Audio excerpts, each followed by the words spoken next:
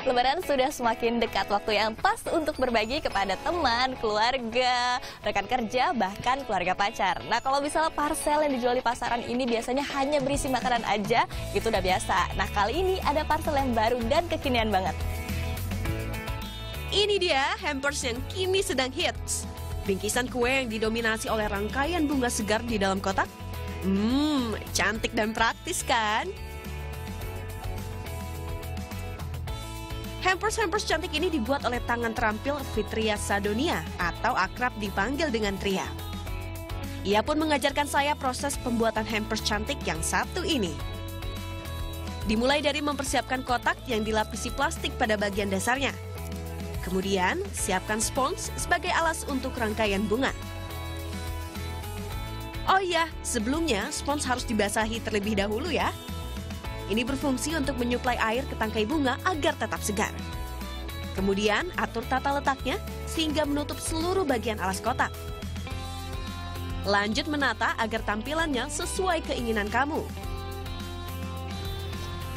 Jadi pertama diukur dulu nih tingginya. Kalau udah diukur, dipotong. Tadi caranya harus diagonal ya mbak ya? Jadi harus diagonal gitu supaya kayak gini.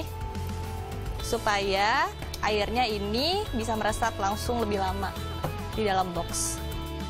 Bunga-bunga yang digunakan perpaduan lokal dan semi impor. Harga hampers dan karangan bunga ini berkisar 200 hingga 700 ribu rupiah. Ide membuat hampers bunga ini datang dari temannya setahun yang lalu. Baku mau ngelamar ceweknya, uh, dia nanya gimana ya enaknya surprisein cewek gue gitu. Terus tapi dia pengen pokoknya kasih ada bunganya lah gitu.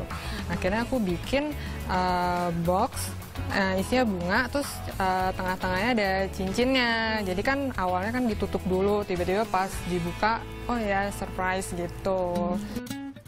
Oh iya, untuk variasi hampers lebaran, Tria menyisipkan rosebud tea atau kuncup bunga mawar kering sebagai bagian dari hampersnya. Tak terasa, karangan bunga kami pun sudah jadi.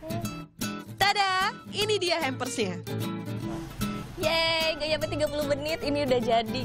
Cantik banget kan? Dan ini lebih awet nih katanya. Kalau misalnya buket biasa, ini awetnya cuma sekitar tiga hari.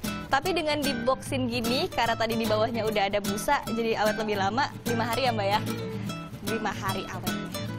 Nah, kalau hampersnya sudah jadi seperti ini, sayang ya kalau kita nggak foto dulu dan unggah ke media sosial. Nah, pas banget kan? Bisa sekalian untuk mempercantik dekorasi rumah di hari lebaran.